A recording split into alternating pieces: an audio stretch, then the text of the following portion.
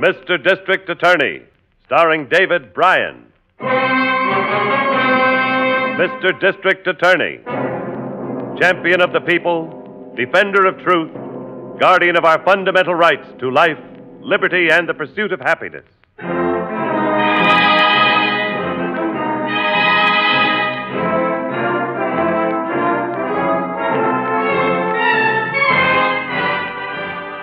And it shall be my duty as district attorney not only to prosecute to the limit of the law all persons accused of crimes perpetrated within this county, but to defend with equal vigor the rights and privileges of all its citizens.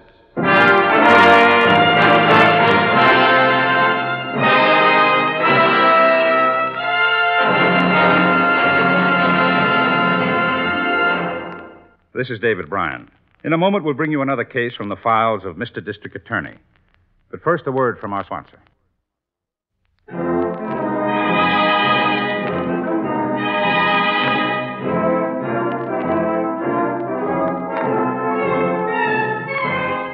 And now, here is our star, David Brian, as Paul Garrett, Mr. District Attorney.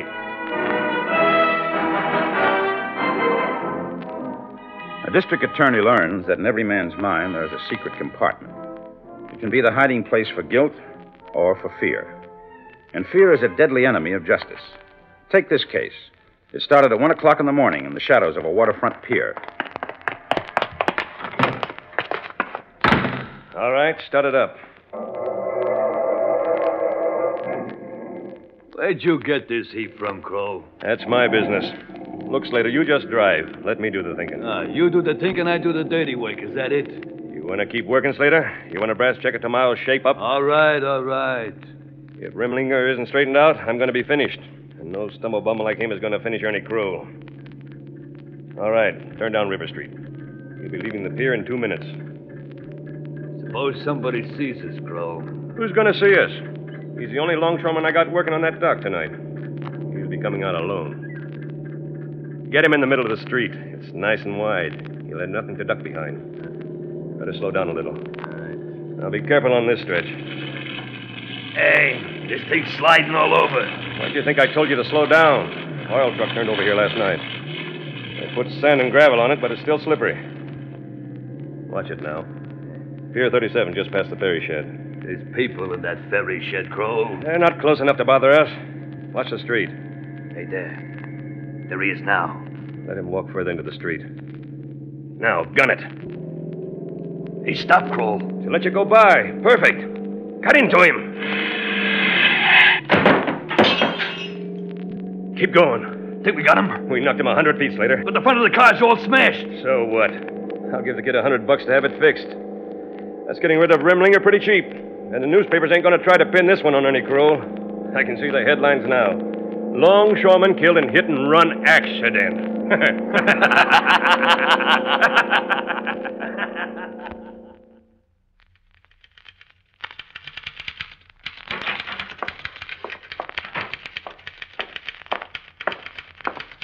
Chief in this office, Miss Miller? He's waiting for you, Harrington. Go right in.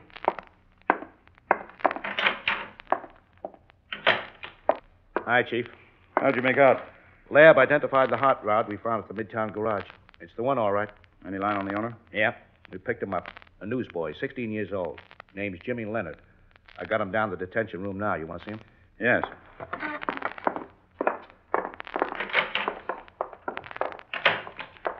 I'll be down in the detention room, Miss Miller. Yes, sir.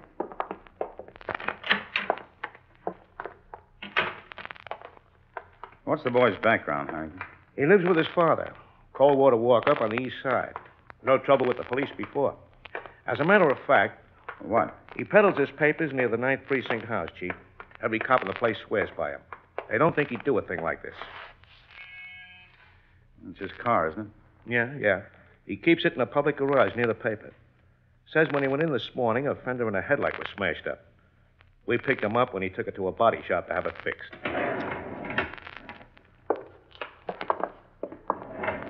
Four, please. This Leonard kid's hot rod isn't the only one in town, Chief. Half the kids who peddle papers own cars just like it. But not with a smashed fender. Well, somebody might have backed into it in the garage. Kid says he didn't drive it last night. And I believe him.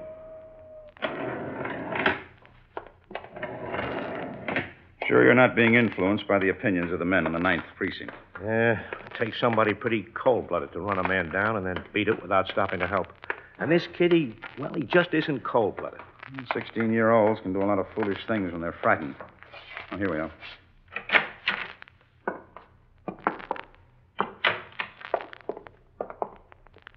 All right, Mike, open up for Mr. Garrett.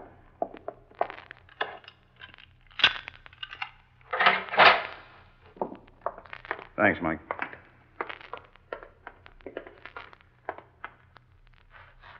Jimmy Leonard? Yes, sir. My name is Garrett. I'm the district attorney, Jimmy. He'll help you if he can, boy. Just be honest with him. We'd like to know where you were last night. I already told him I was home. Your father says you weren't. Maybe I, maybe he didn't hear me come in. He was sleeping. I, I, I guess I got up this morning before he was awake. Mm-hmm.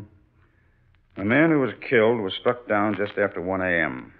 Can you tell us where you were then? No. If you're hiding something to protect yourself, son, you're being very foolish. If you're trying to cover up for somebody else, you're being even more foolish. I don't want to say no more, that's all. I just can't tell you, sir. Why don't you go away? Why don't you leave me alone? Your father says you weren't home all night. Not since you left to sell papers yesterday afternoon. Jimmy, did you ever lend your car to anybody? Is anyone else in the habit of using it? Anybody who might have a duplicate of the ignition key? No. I, w- I was the only one who ever drove it. Only assembled the car a month ago.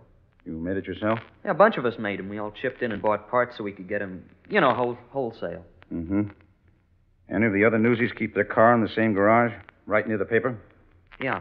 Rembrandt, I don't know his real name. Guys call him Rembrandt because he goes to an art school at night. And, the, and Frankie Cutter. They're the only ones. Is that all you can tell us? Yeah. No use, Harrington. Come on. Lock him in, Mike.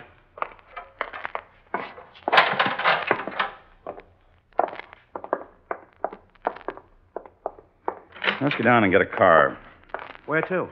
I want to talk to the other newsies who keep their hot rods at the Midtown garage.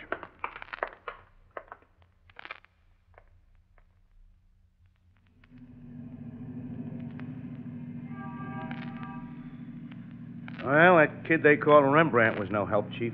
No, it wasn't. But I still want to see that other newsboy, Frankie Cutter. Did you find out where his stand is? Yeah, 12th and Madison, but he won't be there. Why not? He works the corner nights. Somebody else has it the daytime. He lives over this way in Tenement Row, a couple of blocks from the Rimlinger place. I'm going to see Rimlinger's wife sooner or later. Maybe I better go over there while you're talking to Cutter. Oh, give me the address. Hey, uh, it's written down here. Ground floor flat. Should be the next street to the right. Working nights, he'll probably be sleeping. Uh, drop me at the corner.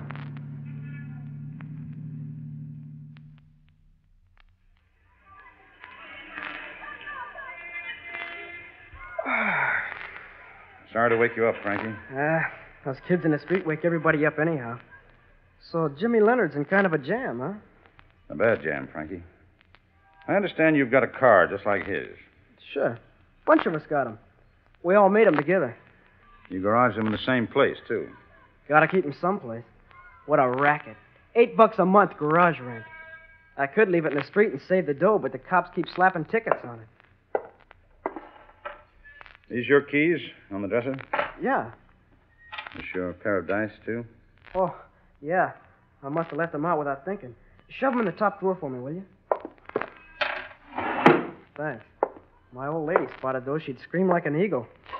Frankie, did you happen to see Jimmy Leonard anyplace last night? No. Why? You say I did? No. And where was your car during the night? Last night while you were working, I mean. Was it in the garage? Where else? Is it there now? Of course it's there now. Rembrandt's, too. Well, thank you, Frankie. That's all I want to know for now. You don't have to go through the kitchen. Other door leads right into the hallway. this is supposed to be a parlor. Some laugh? A parlor in this rat trap. Thanks. Why don't you stick around for a few minutes? You being the DA got the old lady all excited. She went out to get some breakfast rolls. She'll fix you some coffee or something. I'm afraid not, Frankie. Well, thank your mother for me. Tell her some other time. You're the boss. So long. So long, Frankie.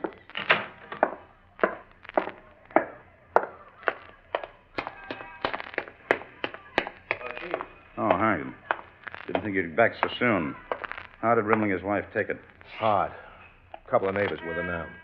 Yeah, she'll be all right, I guess, if she isn't left alone. Two cute kids. Oh, uh, I'd like to stop by the precinct house. Right.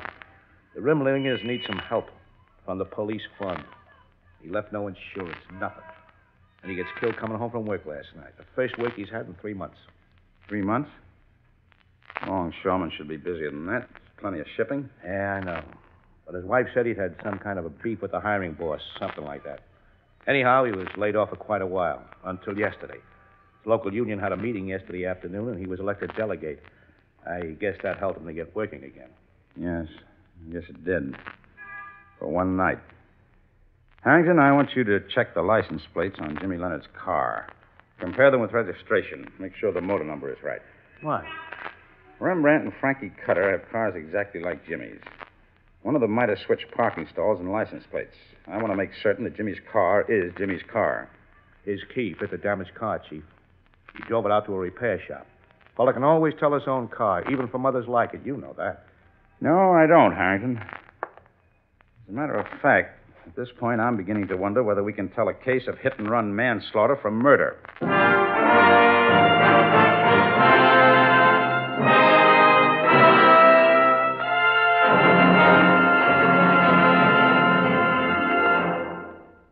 This is David Brian. Before we continue with Mr. District Attorney in the case of the hot rod killing, here is an important message I'd like you to hear.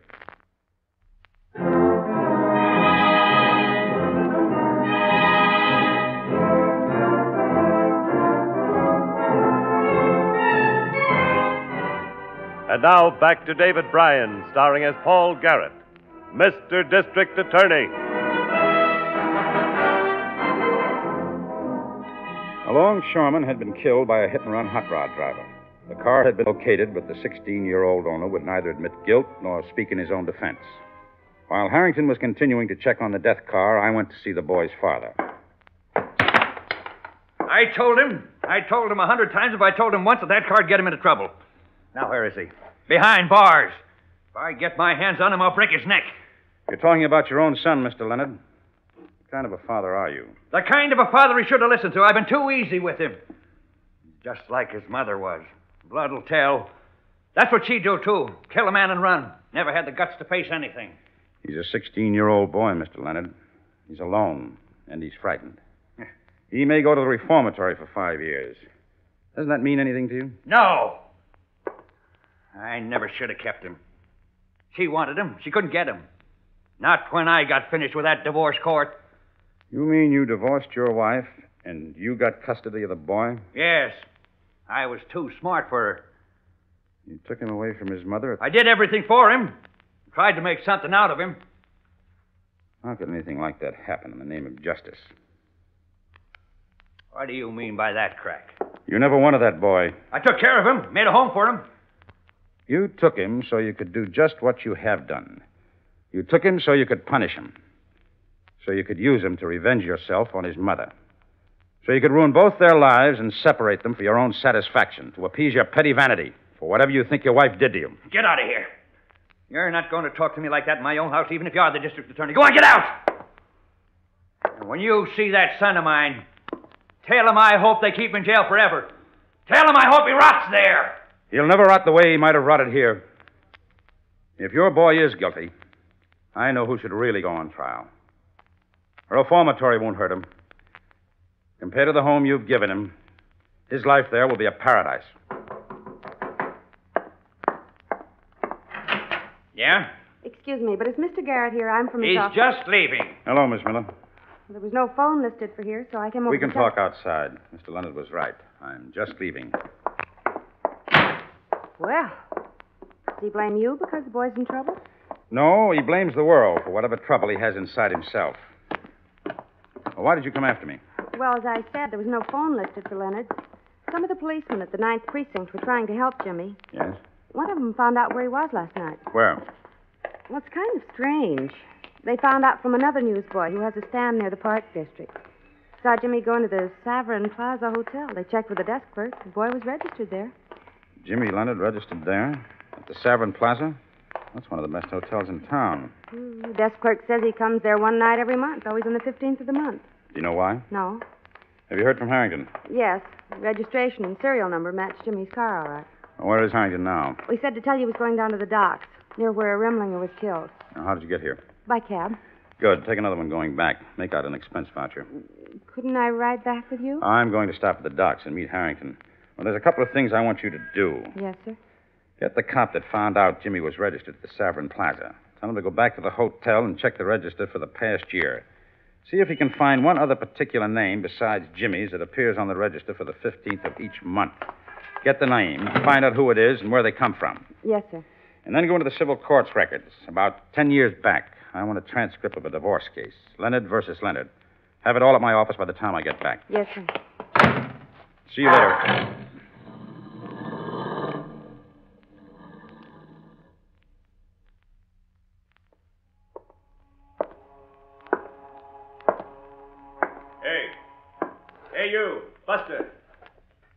Talking to me? Who do you think I'm talking to? Docks ain't no place for sightseeing. Hoist and everything. You might get hurt. Why don't you just blow out of here? You Ernie Kroll, the hiring boss? Yeah. Say, you must be the guy that's been nosing around here asking the longshoremen questions. Yeah, that's right. You shouldn't do that. Those guys got work to do. So have I. Oh, DA's office, huh? Uh, Working on that hit run case, huh? The guy that got killed, uh, Fred Rimlinger? Yeah, that's right. Well, none of my boys know nothing about that. Poor Fred. I just sent some flowers. Bad thing, the poor guy getting killed like that, leaving a family. I'd bleed for him. Bleed what? Ice water? You're a pretty fresh guy, ain't you? I've been talking to your men, the few that ain't afraid to talk. Troublemakers? Huh, What'd they tell you? And you make 'em kick back 20% of their pay every time you hand 'em a brass work check at the shape up. And they don't like it. You think you can get one of them to say that in court? Rimlinger didn't like it either. He'd have said so in court. That's why the men elected him delegate. And you gave him a brass check for the first time in three months. You gave him the only night job on the dock, and he got killed on the way home. By a hot rod driven by a crazy kid. You blaming me for that? Something wrong there, Ernie? Yes, Slater. Come here. This flatfoot's been going around the dock stirring up the men, keeping them from working, making cracks about why Rimlinger got killed. Who's this? One of your muscle boys? He's a guard for troublemakers. Now, why don't you hit the road? I think this has gone far enough, gentlemen. Chief, where did you come from? I've been behind those bales for the past two minutes, listening to your very enlightening conversation. You gentlemen have any plans for Mr. Harrington? No. No, of course not, Mr. Garrett, but uh, you ought to tell him to be careful about believing what he hears from troublemakers. He shouldn't repeat it. A Guy like you has to stand for re-election every once in a while. I know you wouldn't want a taxpayer like me making complaints. I got a lot of connections. I think I'll be able to get by when election day comes, without you or your connections. Come on, Hank. Where'd you leave your car? Right over here, under the shed. Where's yours? A couple of blocks down. You can take me to it. Yeah, sure.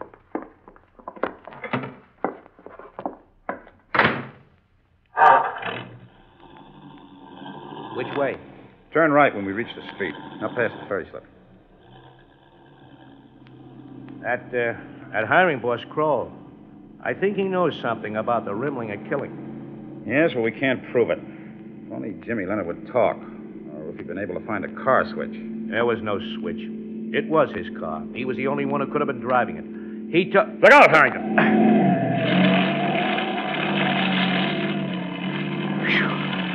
That screwball almost skidded right into us. Yeah, it wasn't his fault. It's this road. Yeah. Slippery. Oil truck turned over here day before yesterday. They tried to cover it. Yeah, you hear that sand and gravel kicking up under the fenders? Yeah, I hear it. Never mind my car, Harrington. Turn south to the Midtown garage. What's up?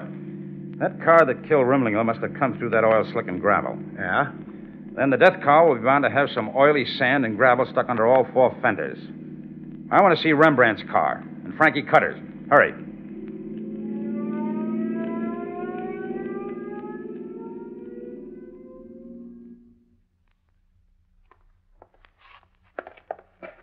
Anything under that one? Nope. Normal road tars. No sand or oil. Have a look at Cutter's.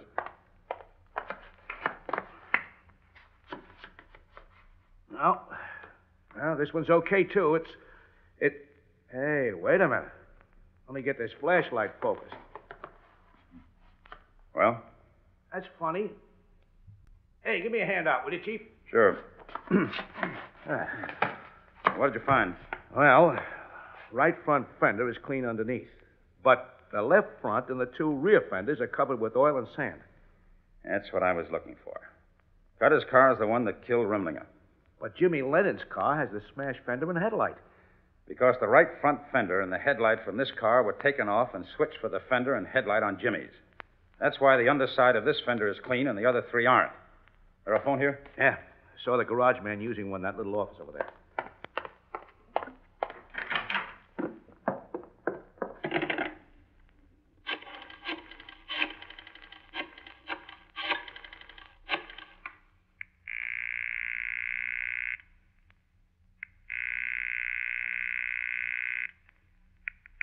District Attorney's office. Mr. Garrett, Miss Miller. Oh, Mr. Garrett, Jimmy Leonard's mother's here waiting for you. What? Yes, sir. She just came in on the train from upstate. She heard about his arrest on the radio. Her name's Mrs. Goodrich now. She's remarried. I see. Well, there's something else.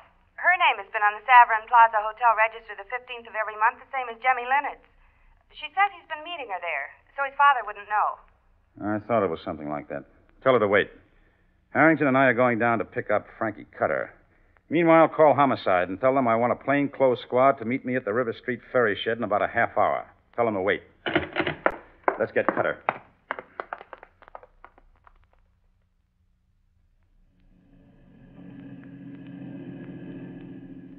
Where are you taking me? I didn't kill the guy, I tell you.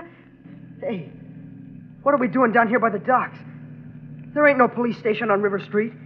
You know what we're doing here, Frankie. You want to tell us who was using your car? Or shall we tell you? You know, don't you? It was Ernie Kroll, wasn't it? Better answer, Frankie. Yeah. He came by the stand. Wanted to know could he borrow the car. To a guy like him, you don't say no. So I give him the keys. What time? Midnight. I was just going to eat. Then he brings the heat back about 2 a.m. Tells me he had an accident. Give me a C note to have it fixed and keep my trap shut. I I thought I'd keep it all, so I glommed onto the fenders and light from Jimmy's car. You want me to drive right on the dock, Chief? Yes. A lot of guys walking out. Longshoremen finishing their shift. Climb into the back, Frankie. Get on the floor and stay there. Don't worry, mister. I don't want no trouble. Stop here.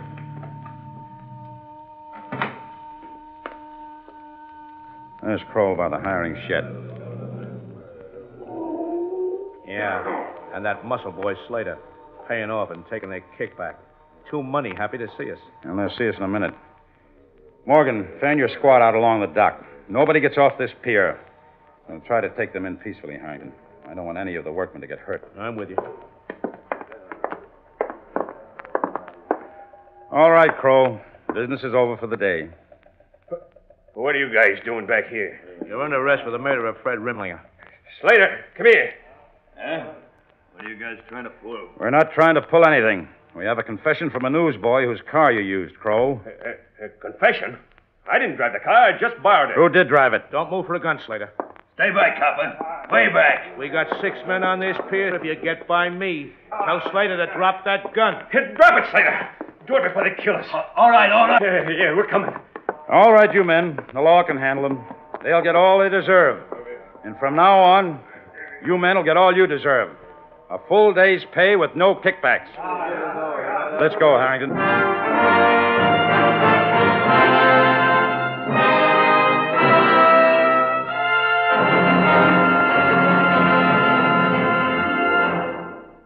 This is David Brian. I hope you enjoyed this case from the files of Mr. District Attorney. I'll be back in just a moment after this message from our sponsor.